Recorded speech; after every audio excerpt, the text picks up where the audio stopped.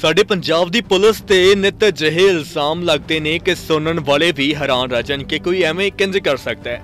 ਹੁਣ ਇਹ ਮਾਮਲਾ ਸਾਹਮਣੇ ਆਇਆ ਜੀ ਸ਼ਹੀਦ ਭਗਤ ਸਿੰਘ ਦੇ ਕੋਲ ਔੜ ਇਲਾਕੇ ਤੋਂ। ਜਿੱਥੇ ਤੁਹਾਡੇ ਸਾਹਮਣੇ ਤਸਵੀਰਾਂ 'ਚ ਨਜ਼ਰ ਆਉਂਦਾ ਇੱਥੇ ਇੱਕ ਵਿਚਾਰਾ ਦਰਜੀ ਹੈ, ਜਿਸ ਦੇ ਮੁਤਾਬਕ ਉਹ ਬੀਤੇ ਦਿਨੀ ਘਰ ਦੇ ਕੋਲ ਰੇੜੀ ਤੇ ਖੜਾ ਨਾਨ ਖਾਂਦਾ ਸੀ ਤੇ ਉਸਦੇ ਕੋਲ ਇੱਕ ਕਾਲੀ ਗੱਡੀ ਆ ਕੇ ਰੁਕੀ ਤੇ ਉਸ 'ਚੋਂ ਇੱਕ ਬੰਦਾ ਨਿਕਲਿਆ, ਜੋ ਖੁਦ ਨੂੰ ਪੁਲਿਸ ਵਾਲਾ ਦੱਸਦਾ ਸੀ। ਤੇ ਇਸ ਦੇ ਕੋਲ ਆ ਕੇ ਕਹਿਣ ਲੱਗਿਆ ਕਿ ਤੂੰ ਮੰਗਾ ਹੈ ਅਸੀਂ ਜਾਣਦੇ ਹਾਂ ਚੁੱਪਚਾਪ ਗੱਡੀ 'ਚ ਆ ਕੇ ਬੈਠ ਜਾ। ਇਸ ਵਿਅਕਤੀ ਗੋਗੀ ਮੁਤਾਬਕ ਉਸਨੇ ਬੜਾ ਸਮਝਾਇਆ ਕਿ ਉਹ ਮੰਗਾ ਨਹੀਂ, ਗੋਗੀ ਹੈ। ਪਰ ਉਹਨਾਂ ਨੇ ਇਸ ਦੀ ਇੱਕ ਨਾ ਸੁਣੀ ਤੇ ਨਾਨ ਖਾਂਦੇ ਨੂੰ ਚੁੱਕ ਗੱਡੀ 'ਚ ਬਿਠਾ ਲਿਆ। ਕੁੱਟਿਆ, ਮਾਰਿਆ ਤੇ ਮੁੜ ਕੇ ਫੋਟੋ ਖਿੱਚ ਕੇ ਕਿਸੇ ਨੂੰ ਅੱਗੇ ਭੇਜੀ ਕਿ ਆਹੀ ਬੰਦਾ ਹੈ। ਪੁੱਛਿਆ ਤਾਂ ਅੱਗੇ ਉਹ ਜਵਾਬ ਸੀ ਕਿ ਨਹੀਂ, ਤੁਸੀਂ ਗਲਤ ਬੰਦਾ ਚੁੱਕ ਲਿਆ ਏ ਤੇ ਮੁੜ ਕੇ ਕੀ ਹੋਇਆ, ਤੁਸੀਂ ਖੁਦ ਸੁਣੋ ਇਸ ਵਿਅਕਤੀ ਦੇ ਇਲਜ਼ਾਮ। ਸਕੂਟੀ ਸਟਾਰਟ ਕੀਤੀ, ਮੈਂ ਜਾ ਕੇ ਨਾਨਾ ਦੀ ਦੁਕਾਨ ਤੇ ਖੜਾ ਹੋਇਆ। ਖੜਾ ਹੋਇਆ ਤੇ ਉਹ ਜਵਾਨ ਜਿਹਾ ਬੰਦਾ ਆਇਆ ਮੇਰੇ ਕੋਲ ਮੈਨੂੰ ਕਹਿੰਦਾ, ਕਿੱਦਾਂ ਹਾਲ ਚਾਲ ਪਛਾਣਿਆ? ਮੈਂ ਭਾਜੀ, ਮੈਂ ਨਹੀਂ ਤੁਹਾਨੂੰ ਪਛਾਣਿਆ। ਕਹਿੰਦਾ, ਮੈਂ ਤੈਨੂੰ ਜਾਣਦਾ ਹਾਂ। ਮੈਂ ਕਿਹਾ, ਭਾਜੀ, ਮੈਂ ਤੈਨੂੰ ਜਾਣਦਾ ਨਹੀਂ ਹੈਗਾ। ਐਦਾਂ ਗੱਲਾਂ ਕਰਦਾ ਤਾਂ ਨਾਲੇ ਸੀ ਗੱਡੀ ਖੜੀ ਸੀ ਉਹਦੀ ਪਰੇ ਨੂੰ। ਮੈਨੂੰ ਪਤਾ ਗੱਡੀ ਖੜੀ ਉਹਦੀ, ਮੈਨੂੰ ਪਤਾ ਨਹੀਂ ਸੀ ਇੰਨੀ ਗੱਲ ਦਾ। ਕਹਿੰਦਾ, ਯਾਰ ਤੇ ਇੱਕ ਬੰਦਾ ਹੋਰ ਸੀ, ਉਹਨੇ ਗੱਡੀ ਤਾਕੀ ਖੋਲਦੀ। ਕਹਿੰਦਾ, ਬਹਿ ਜਾ। ਉਹ ਆ ਬਹਿ ਗਿਆ, ਮੈਨੂੰ ਕਹਿੰਦਾ ਤੁਸੀਂ ਬਹਿ। ਮੈਂ ਕਿਹਾ, ਮੈਂ ਕੱਲ ਬੈਠਾ ਭਾਜੀ?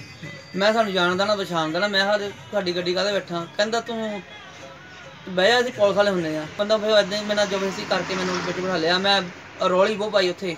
ਦੁਕਾਨ ਵਾਲੇ ਵੀ ਪਰੇ ਖੜੇ ਦੇਖੀ ਜਾਂਦੇ, ਮੈਂ ਉਹਨੂੰ ਕਹੀ ਜਾਂਦਾ ਸੀ ਬਾਰ-ਬਾਰ ਵੀ ਦੇਖੋ ਸਹੀ, ਮੇਰੇ ਨਾਲ ਗੋਗੀ ਆ, ਮੇਰੇ ਨਾਲ ਮੰਗਾ ਨਹੀਂ ਭਾਈ ਦੱਸੋ ਇਹਨਾਂ ਨੂੰ ਆ ਕੇ, ਮੇਰੇ ਨਾਲ ਗੋਗੀ ਆ, ਮੰਗਾ ਨਹੀਂ ਹੈਗਾ ਮੇਰੇ ਨਾਲ। ਪਰ ਉਹ ਕਿਸੇ ਦੀ ਗੱਲ ਮੇਰੀ ਗੱਲ ਸੁਣੀ ਨਹੀਂ ਹੈਗੀ। ਬਾਅਦ ਚ ਮੇਰੀ ਉਹਨਾਂ ਨੇ ਫੋਟੋ ਖਿੱਚੀ ਜੀ। ਫੋਟੋ ਖਿੱਚ ਕੇ ਪਤਾ ਕਿ ਕਿਸ ਬੰਦੇ ਨੂੰ ਸੈਂਡ ਕੀਤੀ ਮੇਰੀ ਫੋਟੋ ਉਹਨਾਂ ਨੇ। ਉਹਨੂੰ ਕਹਿੰਦਾ ਦੇਖਤਾ ਵਾ ਇਹੀ ਮੁੰਡਾ ਸੀ ਨਾ। ਉਹ ਕਹਿੰਦਾ ਵੀ ਨਹੀਂ ਭਾਜੀ ਤੂੰ ਗੱਲ ਨਾ ਗਲਤ ਨਾ ਕਹਿੰਦਾ ਗਲਤ ਚੁੱਕ ਲਿਆ ਬੰਦੇ ਨੂੰ ਕਹਿੰਦਾ ਇਹ ਨਹੀਂ ਸੀ ਕਹਿੰਦਾ ਯਾਰ ਕਹਿੰਦਾ।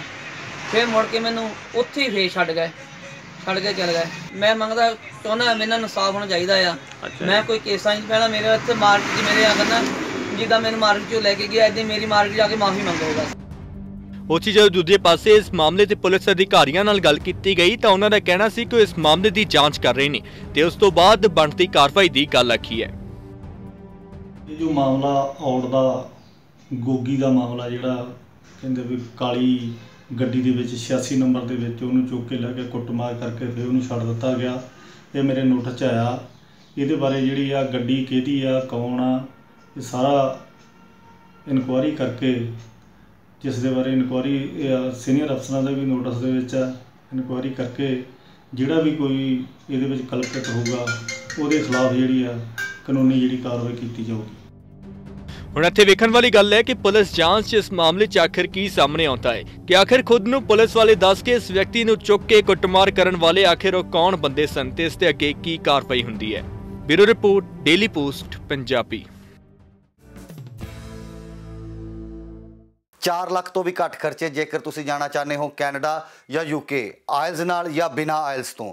ਇੱਕ ਵਾਰ ਫਲਾਈਰਾਈਟ ਵੀਜ਼ਾ ਕੰਸਲਟੈਂਟ ਦੇ ਲੁਧਿਆਣਾ ਆਫਿਸ ਜਾਂ ਚੰਡੀਗੜ੍ਹ ਆਫਿਸ ਆ ਕੇ ਮਿਲੋ ਜਾਂ ਸਾਨੂੰ ਕਾਲ ਕਰੋ 9815 08585 ਤੇ।